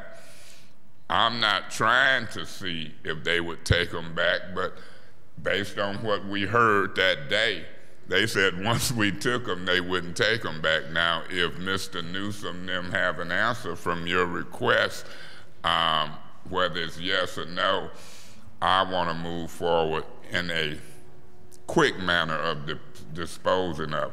Whether we dispose of them at the rate of delinquent taxes on a land contract, whether we dispose of them for a dollar, whether we give them out as community awards, um, whether we use people who I've met on construction and plumbing programs, kids at children at Northwestern, um, young people with Job Corps. I've made some relationships that will come in and paint and do different stuff if need be. I've talked to a variety of, um, of the occupants, the occupants on Hobson, Home Street. Um, we have a person who was paying 800 a month rent um, on Laurel Oak. We have somebody by the last name of Wilson contacting us on um, Woolcock who is ready to, they say, transfer $10,000 on some type of agreement they had with the land bank prior, 10,000 cash. Um, we looking to see what is occupied and what is not occupied. There are some discrepancies. We've looked at some of them don't have, in one case, one of them don't have a water account, but they say they live there. So we're checking some stuff out. I anticipate there will be a time where the interested parties, occupants, former owners, or whatever will come before this council and they might plead their case. But we are developing criteria on a variety of pro property, vacant, occupied, should it go toward the occupants? Can we legally do it without bidding it out? Can we create criteria to give houses away to renters who might want to become homeowners? We are going over a variety of legalities of what we might can do. And then once we settle on those legalities, we will, through ordinance, have a hearing or through rulemaking if Ms. Will believes is sufficient and need to be done. But that's what we're doing right now. And so just as an update, I wanted this on the special meeting. And then without going into any details with that type of update, I'm hoping within the next two, three weeks, 30, 45 days, we have something to bring before this council. It could be sooner, it could be later. But if we keep putting our heads together in a group of nine versus two or five or six, I think we'll get there faster. So I think you can see that this was dealing with advertising, but it was bigger than that because probably on the discussion items, um, you might see this about these seven homes in one or more places. So I applaud us, but no, this discussion was bigger than $100 for advertising each house. Thank you. I want to make a statement if I can, Ms. Wilcox. Um, and I, and I want to be very careful in my statement.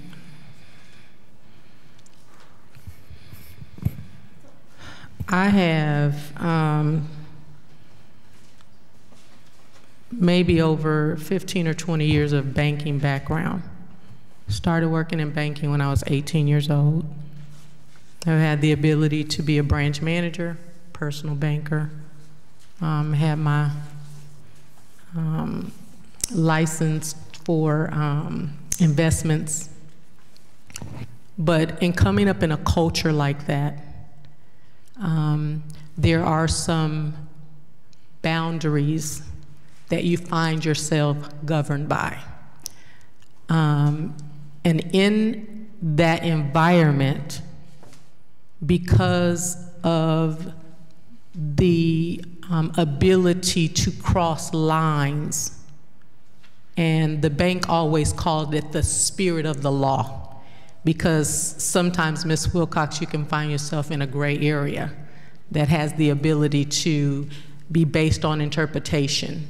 And although there's that gray area, you might say yes to it, but the spirit of the law tells you, although I may be able to do this, this is not a good idea, Mr. Newsome. And I say that to say that when you work among people, our internal guidelines will cause some of us to believe that certain things are acceptable, whereas to others they're not. Thus is the concern of ethical behavior, integrity decisions. And I'm not saying that about anybody. I'm saying that as human beings, depending on culturally how you were raised and whether you were in an environment where integrity was drilled into you. And I remember in my family, integrity was drilled into my kids and myself to say, if I go into a restaurant and Miss Wilcox, my meal is $20 and I give them a $10 bill in error and they give me change for a 50, although nobody knows but me, my integrity button and character button should be saying red flag, red flag, give that money back. Nobody knows but you, but somebody could lose their job, right? And I said that to say this. I support us looking at the ability to do something like this that would benefit this entire community. My concern was that there was too, what appeared to be, too much personal contact between one person and another and one person being a person of authority. And I shared this with Councilman Winfrey as we were discussing it because I wanted him to understand. In the banking world, Mr. Newsome, if you were my brother and you desired to purchase a piece of property, and any of you have, that have bought in foreclosed homes, Bank of America was really good at this. And in their fine print, they said, you cannot buy this if you are a relative or a cousin's cousin's cousin to anybody that works for this organization. Now, that's arm's length like nobody's business. My cousin could live in California. We ain't seen each other in 30 years, but this organization deemed that appropriate in an effort to maintain their, their integrity to say, we're not going to show any favoritism whatsoever. But when I use my influence, possibly in an effort to um, possibly cause somebody to benefit more from a scenario than other people that I may not know, there's the ability to, sh to show some favoritism. And so as we move into this, I like the idea of it. I can't say that, in my opinion, these seven fit that because we didn't develop a plan first. There were some houses that we knew people that may live in them, and therefore it can be seen as using your influence in an effort to get the home to you at a lower price. I'm not saying that that's the case, but there is the appearance of it. And so I just want to be able to go on the record to say my concern with this group of houses, not the way that we're going, but with this group of houses, I'm uncomfortable with the way that it's being done. Will I support that plan? I think it's an awesome plan. I think that um, Mr. Del Moroni, it would probably answer some of his concerns with people being able to qualify for the poverty exemption in their property taxes and our water bills. Why? Because although those options aren't available to renters, if in some way we can create an environment where our residents can come in and buy these homes that they deem is still um, rehabable, then we turn renters into owners they begin to take advantage of all of the programs that possibly are available to them. And in addition to that, they add value to the communities in which they live in. Because now, in my mind, renters view homes different than owners. Secondly, they add to our um, revenue because our property taxes are increased. Now I know that they are because if whether you're a buyer or renter, the property taxes are still paid, but there's that benefit. And they also sometimes benefit from tax breaks and things of that nature. And so it just, to me, the idea of this creates a healthy community. it begins to revitalize the community. And so I just want the record to show that I think that it is it has the ability to do some great things. Um, I just don't, I think maybe, in my opinion, the cart was placed before the horse in this picture. And so I'm simply stating my opinion. I don't want to debate with anybody because that's not what I'm trying to do. I'm trying to be respectful to everybody's view, and I just wanted to share mine. So I thank you guys for everything you're doing. If you decide that you want to speak, please feel free to speak on however Chair. you want to. Councilman Mays. Yeah, Madam Chair. Um, I'm glad this is on the agenda. And I'm very careful as a trustee of this city to try to throw the city out there in a way of any type of liability. In other words, I'm very careful when I speak as well, but I've heard some folks say some things like folks in authority is doing some underhanded, trying to help certain folks. Well, I'm going to stand up and say, in fact, I am trying to help folks. But as far as borderline ethical and underhanded or anything of that nature, I take offense to. Under state law, any city, village, or township has the right to have their property prior to it going to a land bank. This is state law. And I don't see that state law as underhanded. And I'm going to keep repeating that when the land bank, the county treasurer was here, it was three council people missing. You needed to hear, in my opinion, what the land bank said, what the county treasurer said. And one of the things that stuck out in my mind, I can't speak for the five or six who were here, was that when our delinquent taxes go over to the county and they collect what they can, if they don't collect a million dollars worth, they'll look to 2019 and take our million dollars to balance their books.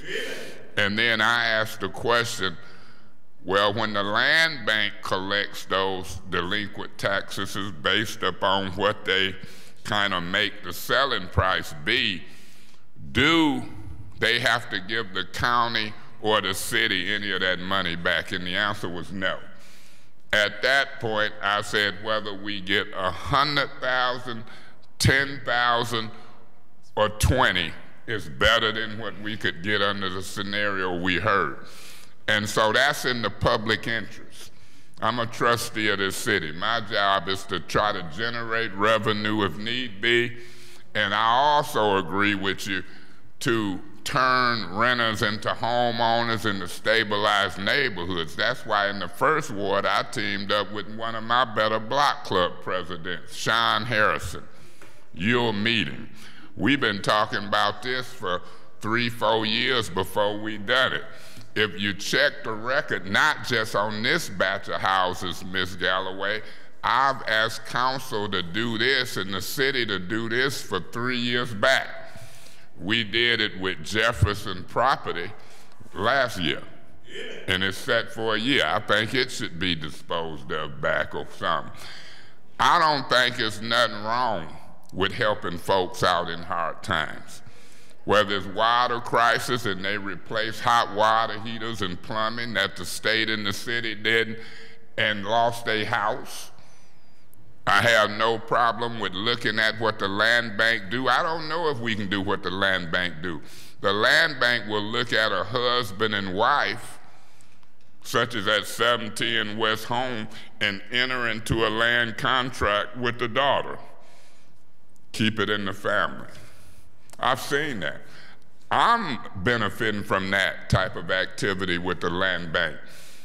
Rosie B. Mays, God bless her soul, my mama got sick at 85. She lost her house. But guess who they signed the land contract with? Her son, me, Councilman Mays. She's dead and gone, and I'm sitting in a house that our family owned for 20 years and living in it done one from office from there. So I'm gonna look at what the land bank do. If they've helped families, y'all can call it nepotism, epitism, repetism, cronyism, all of the isms. Because if my block club people support me and they want to do stabilization of neighborhoods in the area, five of these houses is in the first ward. And I, you don't have to believe me, we'll bring in Sean Harrison and his whole block club. We've been talking about this, not with this batch, but with any batch for three, four years. So all of these false premises that people talking politely about, we finna find out about. We ain't made no policy on what we gonna do. I know a hundred percent that the city of Flint in some shape or form had a dollar house giveaway because my brother Kevin Mays had got one. It made the news back in the day on Piper. And so my position is I'm going to explore the legalities of a dollar. I'm going to explore the legalities of what allows the land bank to deal with family members.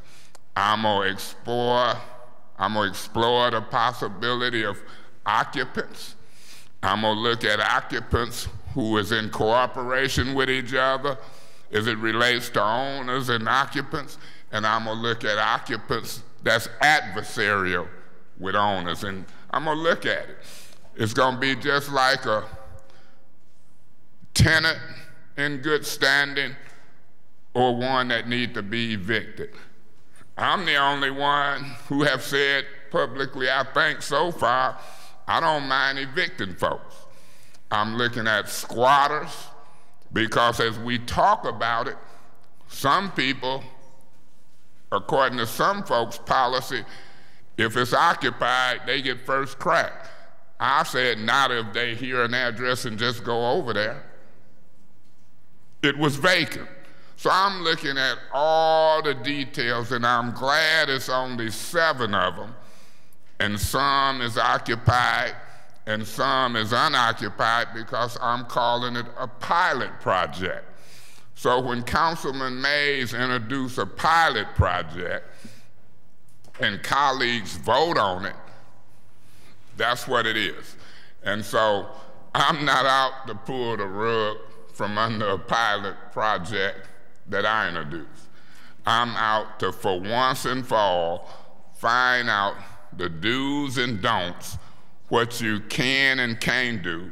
And I can tell you right now, the charter has a section about disposing of property.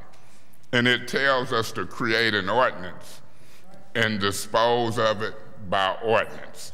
And so I'm in the process of trying to create these ordinances that allows this public municipality to do it and do it in an open and transparent legal way for some public purpose. And I think Ms. Wheeler started out telling us public purpose. I've heard the arm length transaction, and that's how we gonna do it. And hopefully nobody lose sleep over it. But I really take offense of people saying it started out wrong. No, it didn't start out wrong. It started out with a legal understanding of state law of what we can do. We did it. And now it's, it's progressing with a legal understanding of ordinance.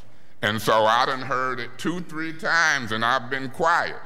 I've heard you say it. I've heard Miss Worthing say it. And I think it's a false portrayal. We didn't start out wrong.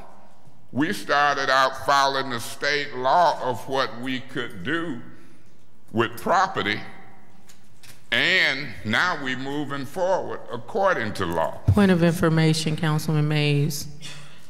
You've called names, but my question is, do you remember when the administration had some concerns about the liability for the city? Yeah, I called more names. Thank you. Mr. Newsome didn't want to do it.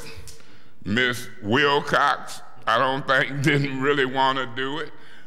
The city attorney, Miss Wheeler, in some cases didn't want to do it. Some folks wanted to not deal with the occupied versus the unoccupied. So if it makes you feel better, if you concede that you didn't want to do it, you ain't in company by yourself. But the, mat- but the fact of the matter is, five votes of this council, even with an abstention by me, did it. Now, I might not abstain in future votes because I might separate 1219 West Home and vote on the other six. So you in good company. As a matter of fact, me and the president of this council, Mr. Winfrey, met with the mayor on this as well. I'll let the mayor say what her position is. But believe me, um, Madam Chair, I'll always name names. That ain't no crime. It ain't even against the rules. I can say who vote yay, nay, I can preference it. So that ain't nothing. If your point of information was to include other names of folks who didn't want to do it, that's been done. I'm concentrating on the majority who did want to do it, and hopefully that majority will adopt the rules according to law and we'll get it done. And these properties will be properly transferred. I don't think we want to hold them, but I even told Mr. Newsome, the one over on Woolcott is so nice to me that in the water crisis, we've had all kind of folks come in and out of Flint with employment. In Detroit, they got for the mayor, Randy, what they call the Manoogian Mansion. And that's where the mayor lives. Now, I don't think a finance director, people coming in and out ordered by the DEQ, certain people with certifications, is like the mayor of Detroit. But I don't mind holding on to one for folks who coming in and out of town. It's a city-owned property. I don't mind that. I'll look at that, Mr. Garrett.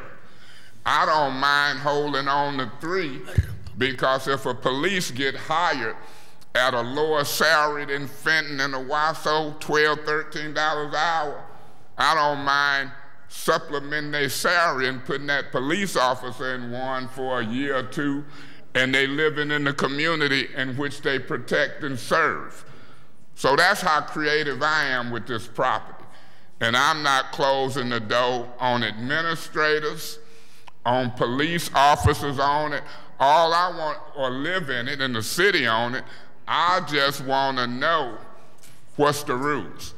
And I can assure you, Pastor Gilbert, I don't think there's no rule against a city owning a resident, whether it's in the first ward, the third ward, or the fifth ward, and helping supplement a beginning officer's income so they can live in the neighborhood in which they protect and serve. So that's how my mind thinks when people say I done did something wrong or you had a good heart. No, I think I did it right. And I'm doing it for a reason. And one of my legacies gonna be known as this real estate housing program. It's gonna be known for dollar giveaways.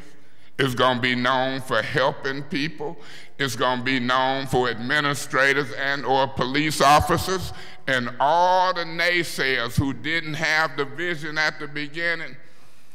Watch what they gonna say at the end and watch what the people of the city of Flint gonna say when the vision is talked about. And so that's all I'm saying, Miss Galloway. I hear you loud and clear as it relates to what you see. I'm just trying to give you a bigger vision with what I see, and maybe you will come more on board. Now, I'm not saying you ain't on board, but I said more on board. Because I keep hearing from you and Ms. Worth and them. Councilman Mays, point of information. Yeah. Are you aware that you keep calling names? Are you aware that everything I've said is liability towards the city, nothing to do with you? No, I'm not aware. Okay. But what's wrong? What's what's that got to do with names? Because you're misappropriating what I said. I oh. just Oh. want you to maintain that Councilwoman Galloway's number one objective is liability to this city. May I Period. May I politely ask you this question? Please. Didn't you allude to it kind of maybe being not a good idea of some sort? Councilman Mays, I I'm said just it's a great, i- it has the potential to be a great idea. It sure does, but did you allude to it as maybe not at your earlier? I alluded to my up- discomfort with this round of houses. Right. And, Thank you. And why don't you name Wait, specifically? can, do you mind yielding to the attorney I don't quickly? mind, so that I- before as I- she leaves, yeah. As I yield, I want you to circle back and talk about what you think is unethical after I didn't. I didn't say that. I said Oh. that there is the appearance, and and Councilman Mays, you can get two ethical people in this room, and you will have some, and and that's why I was so specific in what I said, Councilman Mays. Ethics, according to you, is clearly by interpretation. So I can see why it would be important to put something in writing. All I'm saying is, if my boyfriend or my husband lives in a property before I remove a property from a list, there is the appearance of utilizing my influence inappropriately. You look at it one way, but I guarantee you, if you put it before an ethics class, it would definitely be, if nothing else, on the frown side. So, m- Attorney so, Wheeler, so, Ms. please. Galloway, if I may respond before I yield to her legal point. Um, don't do like that if you want me to yield. My position is this. If you look at one thing ethically or unethically, that's you. Clearly. And if I look at one thing ethically and unethically, and we can take this specific case of 1219 West Holmes Street, and we can put it before your best ethics board. Hmm. I'm willing to do it. And you can look at it, and I'm telling you, you don't even know how many people I've had relationships with all across this city and who they are. Point of So- information, Councilman Mays. But now my point was You do realize that I'm simply using Talking your, about your me. no, simply using your own words. Because you said it for public record, so, so don't pretend like I'm correct. saying something. So, if I I'm may just saying. continue, I'm, I'm, not saying. arguing with you. I Okay, re- oh. divulged my conflict and my interest and abstain from the vote because of the relationship. And I did it because I knew you, Kate Fields, her, and anybody else would talk about it. So all I'm saying to you is beneficial to call names. If you think because this council in a majority voted for property and the one that had connection with Mays and or relationship shouldn't have been in it, then guess what? It is. And I'm here to tell you it's there. And so you should call names because when you Councilman talking, Mays, point of information. when you're talking riddles and rhymes, yeah.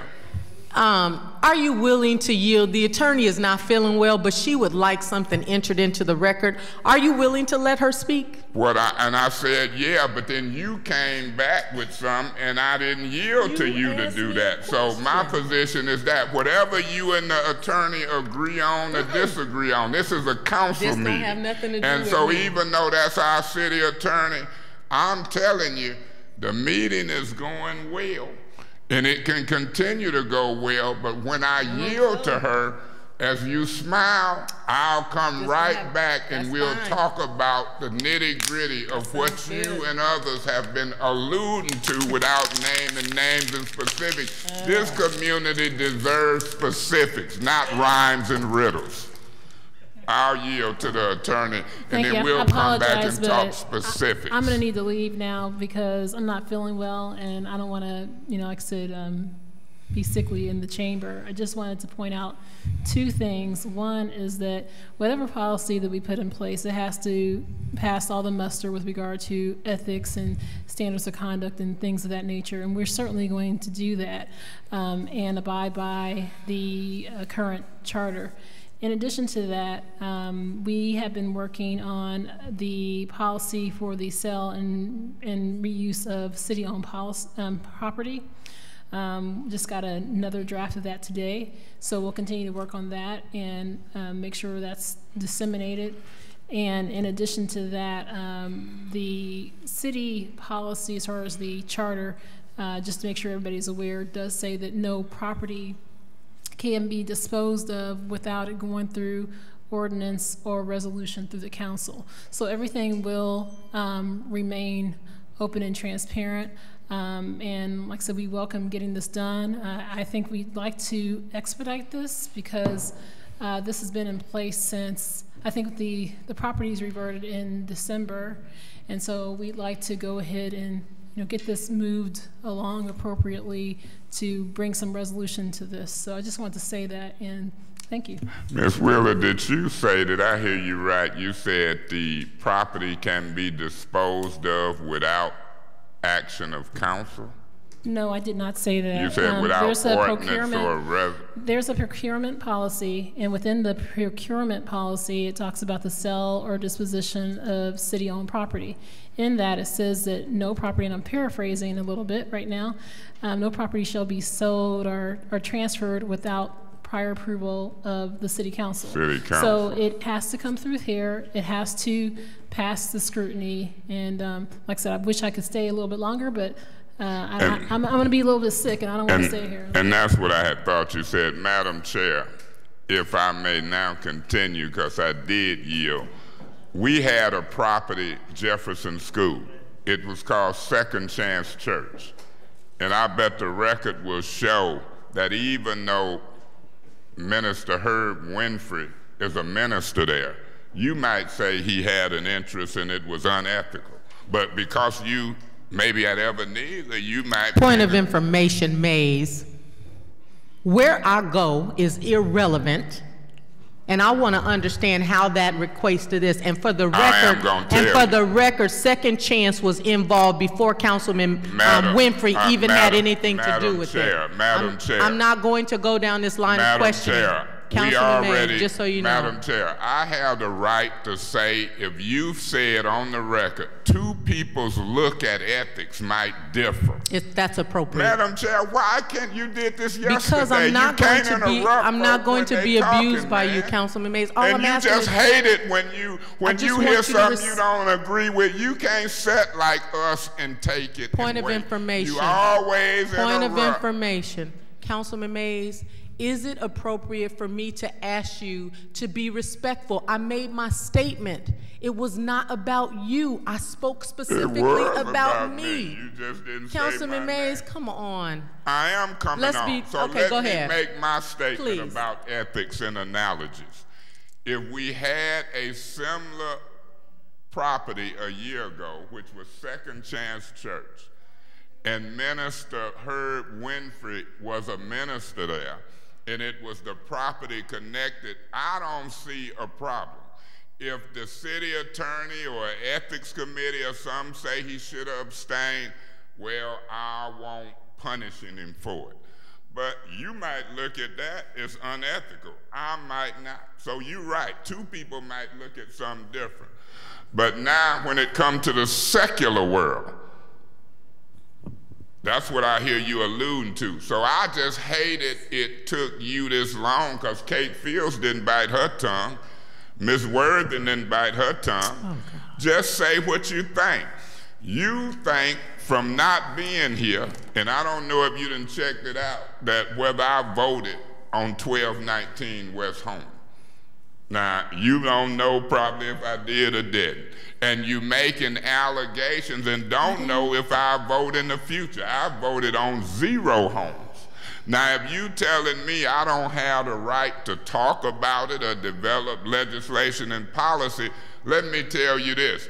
I developed legislation for water and everything across the city. And I can assure you, I've had relationships with more than just one.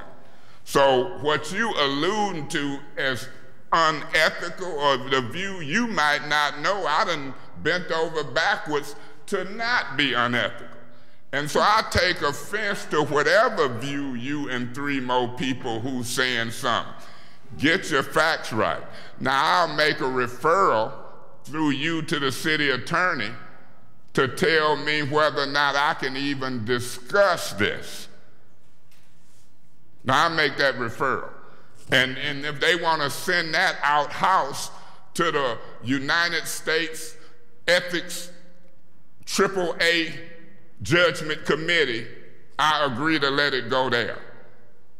And so once we start doing that, we'll have a springboard to write ethics law.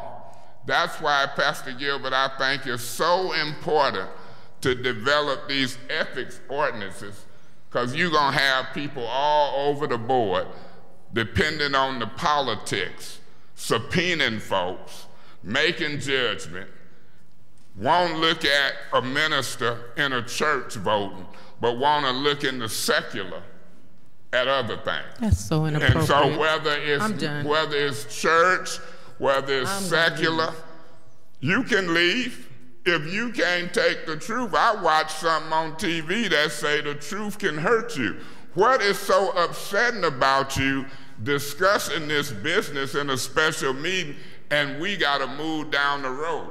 You want us to continue to make so-called ethical mistakes, but it's going to surprise you if you found out ain't no vote or nothing been made so far. So speak your piece. You just got to have thick skin. When I hear stuff said about me, I want you to identify me. If I hear something said, I'm going to address it. So I would move unless my colleagues got something on this. I ain't going to move to adjourn because, Santino, you know what happened with the um, call for the question. But if we can't discuss the tough issues, including ethics and specifics of property, I want to know who kin to the Wilsons on Woolcott. I want to know if anybody kin to the others. And so if that's part of the scrutiny rules, we just put it in there. Did you hear that, Mr. Newsome, Ms. Wilcox? If those are a part of the due diligence on disposition of the houses, Ms. Galloway, write your concerns out, put them down on paper, and get them to Miss Wheeler, Mr. Maurice Davis. You might not trust me with them. I might be a little borderline unethical. But I'm not finna give up my position on their committee. Ain't gonna give up my position on council because certain females on this council, one black and two white, want to call me a racist. Councilman Mays, I'm a bully. what you're talking about is not germane. It is So it is not. It is not. Councilman me Mays. bullies, intimidating, Council- and I'm tired of it. So call my name. Anytime y'all continue to call me a bully, I left out of here Mays. last night. Councilman Mays, you are out of personally. order. You was out of order last night when you start attacking me. And so, Councilman believe Mays, me, you are I'm out of order. Not I- gonna ease up on you. I rule you out of order. This is your only, only time Um, that I'm going to give you an option Is- to end now. This is your Is only a warning. motion to You are in on- order? you- Is a Councilman Mays, motion to adjourn in order? There's a motion to adjourn. Is there? It- Second. It has been moved in second. All in favor? Please stand. Say aye. Aye. It's a roll call vote out.